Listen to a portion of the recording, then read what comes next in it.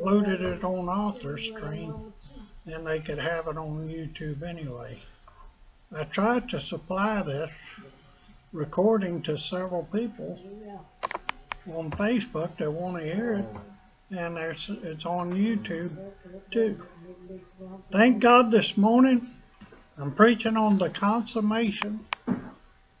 This is the second sermon I preached last week on the first three parts. I have another three parts to it, and I may wind it up next Sunday with three parts, or may skip a few Sundays and finish it up. I don't want to bore you to death, but I don't think you're getting bored with the Word of God by any means.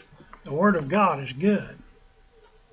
Daniel 9 and 25 Know therefore and understand that from the going forth of the commandment to restore and to build Jerusalem unto the Messiah the Prince shall be seven weeks, and threescore and two weeks, the street shall be built again, and the wall even in troublesome times.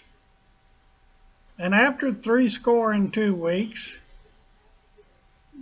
shall the Messiah be cut off, but not for himself. And the people of the prince shall come and shall destroy the city and the sanctuary, and the end thereof shall be with a flood. And unto the end of the war of desolations are determined. And he shall confirm the covenant with many for one week. And in the midst of the week he shall cause the sacrifice and the oblation to cease, and for the overspreading of abominations, that he shall make it desolate, even until the consummation. And that determined shall be poured out upon the desolate. The reason I read these scriptures is because this is a portion of scriptures that concerns the end times, the last days. And the consummation is the point I want to highlight because it'll say that there'll be one week and in the middle of that week there'll be a, an abomination of desolation. But at the end of that week, it'll be a consummation, which means a completion of our salvation when we go to heaven. And what a wonderful time that's going to be. And I know it's a little bit difficult to understand, but I'm trying to open up this idea of the consummation to you, that you'll realize that we need to hold on to the Lord. Through our darkest days, our darkest trials, and many of us have been through those dark trials and found out that the Lord is gracious in our dark times, and He's good to us, and His grace is sufficient. And I just want you to realize this morning that the Lord's grace is sufficient. I know he's carried me through 20 years of paralysis. And the reason I've had this goal to go to heaven in my mind is because of that same grace. And that grace has touched many of you. So I go to the fourth section. Last week we went through three sections. This is the fourth section called the Redeemed of the Lord. This is an exciting section. In Isaiah 62 and 3, Thou shalt also be a crown of glory in the, in the hand of the Lord, and a royal diadem in the hand of thy God. Thou shalt no more be turned forsake, termed forsaken, neither shall thy land any more be termed desolate, but thou shalt be called Hephzibah, and thy land Beulah, for the Lord delighteth in thee and thy land shall be married. For as a young man marrieth a virgin, so shall thy sons marry thee, and as the bridegroom rejoiceth over the bride, so shall thy God rejoice over thee. I have set watchmen upon thy walls, O Jerusalem, which shall never hold their peace day nor night. Ye that make mention of the Lord, Keep not silence and give him no rest, till he establish and until he make Jerusalem a praise in the earth. The Lord has sworn by his right hand and by the arm of his strength.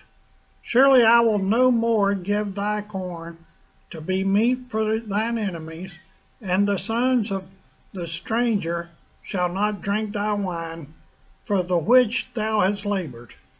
But they shall they that have gathered shall eat it, and praise the Lord, and they that have brought it together shall drink it in the courts of my holiness. Go through, go through the gates, prepare ye the way of the people. Cast up, cast up the highway, gather out. Got a little emblem that come up here. I gotta cancel out. It's in the way of me reading. I don't know why the computer started that. Anyway, go through, go through. The gates, prepare ye the way of the people, cast up, cast up the highway, gather out the stones, lift up the standard for the people.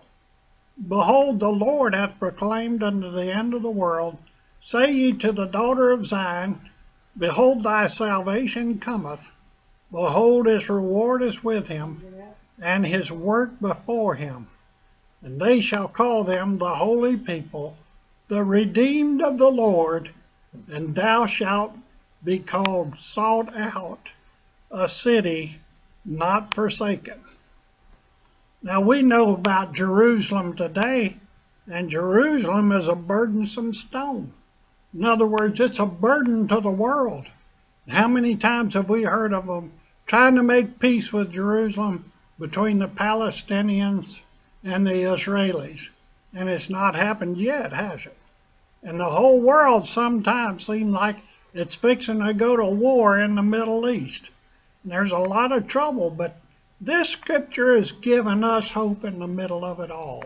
It gives us hope because he said, when they thought it was forsaken and the land desolate, then he said it'll be called Hephzibah and thy land Beulah, which means the Lord delighteth in thee, and thy land shall be married. I know many of you know about World War II. I don't remember World War II because I wasn't alive then. But many of you were young then and, and uh, happen to know that that was a terrible war.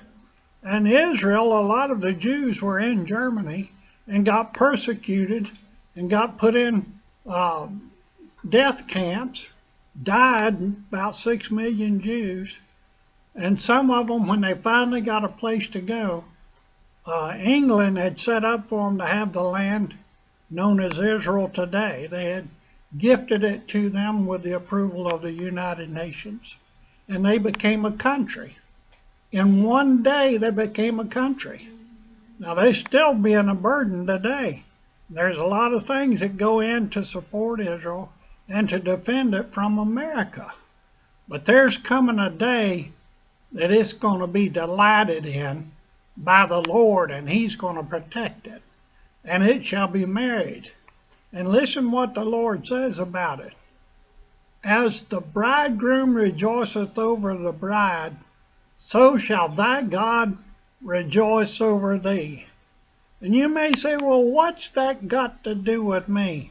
I'm not a Jew. But you know, here's the statement in Romans 2.29. But he is a Jew which is one inwardly, and circumcision is that of the heart, in the spirit, and not in the letter, whose praise is not of men, but of God. Paul was writing to the Romans. The Romans were Gentiles. But he said, you can become Jewish in your spirit and in the eyes of God, and he's going to rejoice over you just like a bridegroom rejoices over his bride. Now, I don't know, maybe it's hard for you to think of this, but it's hard for me to understand how in the world God could rejoice over me like a bride and him as a bridegroom, but knowing the fact that Jesus paid it all on the cross of Calvary. And God so loved this world that he gave his only begotten Son, that whosoever believeth in him shall not perish, but have everlasting life teaches me that God loves people, but He wants us to come into salvation through Jesus Christ our Lord. And that's what Paul was saying.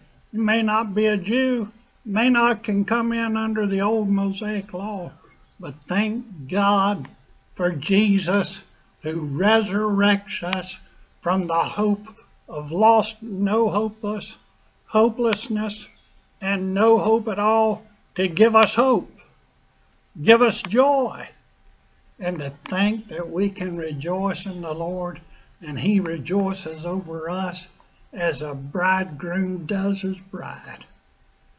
God said it in his word in Hebrews. He said, if he spared not his own son, how shall he freely give us all things? And I just want us to realize there comes an end to all this trouble. And in that end, if we're holding on to God, if we're living in the name of Jesus Christ, if we love his appearing, it's going to be like Paul said in 2 Timothy, the fourth chapter. I've fought a good fight. I've come to the end of my journey. I've kept the faith. Henceforth is laid up for me a crown of righteousness, and not for me only, but all those who love the Lord and look for his appearing. Will he appear the second time unto righteousness? What a thought that I can be loved of the Lord so much that he gave his son and died for me. Isn't that wonderful to know? You know, when this thing winds up, the world is not going to say, well, what happened to the believers? They disappeared. No, Jesus is coming on the clouds in power and great glory, and all the earth shall mourn that don't know Jesus. But those that know Jesus are going to rejoice, and he's going to do it with power and great glory. He's not sneaking in and snatching us out like some fiction authors have told us.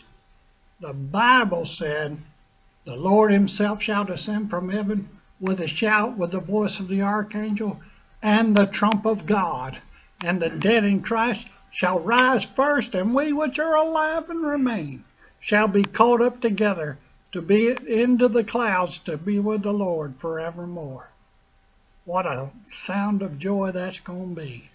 And I don't think people are just going to be whispering his name along going through the clouds. I think they're going to be shouting it to the heavens. Hallelujah, I'm on my way home. And what a homecoming that's going to be. That's why I preach on the consummation. Amen. Brother Johnny, will you sing a song for us? Yes.